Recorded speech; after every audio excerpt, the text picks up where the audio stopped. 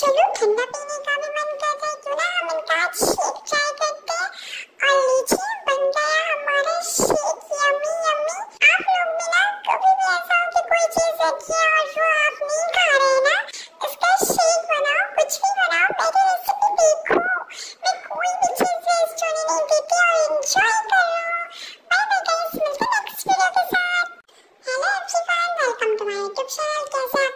उम्मीद है आप सब अच्छे होंगे आज मैं आप लोगों के लिए लेकर आई हूँ बहुत ही इजी रेसिपी तो चलिए बनाते हैं थोड़ा सा दूध लिया इसमें कोको पाउडर ऐड कर दे इसको अच्छे से मिला दे